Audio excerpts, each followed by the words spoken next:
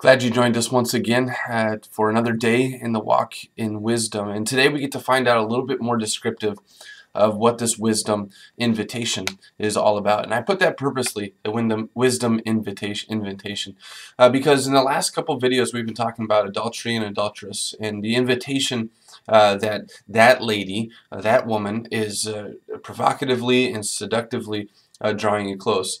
Uh, well, the, the Lady of Wisdom, or frankly wisdom in general, uh, using a feminine noun, is also uh, drawing and being able to invite into uh, the fold and the walk in wisdom. And so that's what we get to find here in chapters 8 and chapters 9. Some descriptive ways uh, that wisdom is inviting us into the walk because the wisdom walk is the gospel walk. The wisdom walk is the salvation walk. And it is far more valuable than anything here on earth.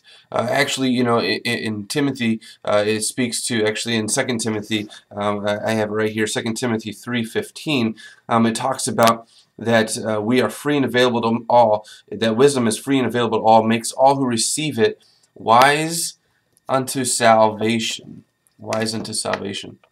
And as we walk in that wisdom, obviously in that second concept of Proverbs, once again, uh, we're going to be uh, disciplined. It's going to be a disciplined walk uh, that we're going to be able to understand what is wisdom and folly and then being able to walk in that road in that way. Uh, you're going to see that uh, it comes to the when it comes to a crossroads, uh, wisdom has an has a strong invitation, as does foolishness. Uh, but wisdom uh, is going to be seen as the righteous walk, rather than the walk of selfishness and the and the walk of sin. And so we get a little bit of more descriptive uh, nature here in chapter 8 of Proverbs. We're going to do the first 11 verses, uh, verses 1 through 11, and it is wisdom's invitation, and you're going to see that it is to all.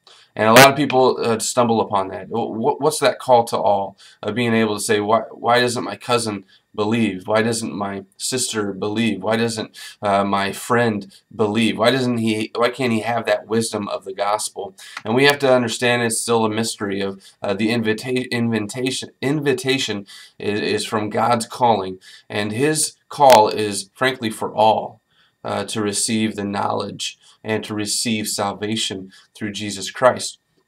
But there's a hand up by people. Uh, there's a, a possibility excuse me.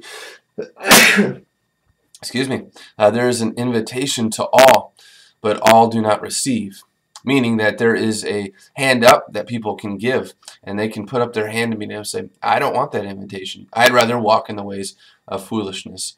Uh, but that is not wisdom's fault. That is not the gospel's fault. That is not God's fault. That is a sinful nature uh, being able to win the battle, if you would say, uh, being able to walk in the ways that it wants to and reject the gifts of the wisdom and understanding that only come through the Spirit of God.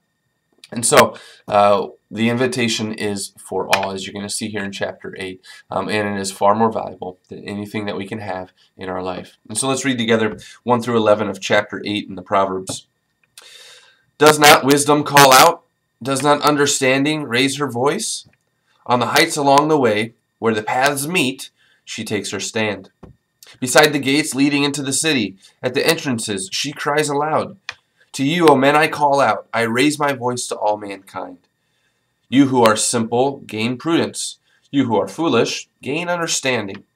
Listen, for I have worthy things to say. I open my lips to speak what is right.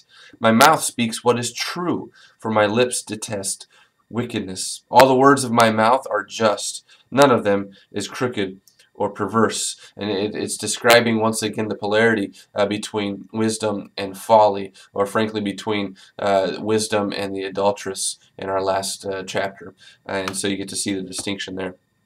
All the words of my mouth are just, none of them is crooked or perverse. Verse 9, To the discerning all of them are right. They are faultless to those who have knowledge. Choose my instruction instead of silver, knowledge rather than choice gold for wisdom is more precious than rubies, and nothing you desire can compare with her. Wisdom is Christ. Wisdom is the gospel. And so being able to receive wisdom, to be able to walk in the gospel, to be able to be a follower of Jesus Christ is far more valuable than anything that we can attain here on earth. Once again, it's, it's said in this way. A relationship with our Creator is far more important than a relationship with anything in amongst the creation. Because a relationship with our Creator gains us wisdom. It receives that salvation. It, it walks in a way that is what He calls us to walk. And it is frankly a growing relationship day after day because He gives His mercies. He gives His gospel. He gives His continued love and mercy through Jesus Christ to us day after day. And as we grow in that love and mercy, it is incredible how we walk wanting to follow His statutes and will. Uh, because His statutes and will are the way of wisdom and they are a blessing to us day in and day out. And so, uh, my prayer for you today is being able to say, if you're in the crossroads of saying, which way do I go? Uh, walk in the ways of the Lord, get into His Word, pray to Him, uh, because it is far more valuable to walk in His ways than the ways that we would want to understand or the ways of the world. And so, that's my prayer for you this day. Have a blessed day as you walk in the wisdom of the Lord.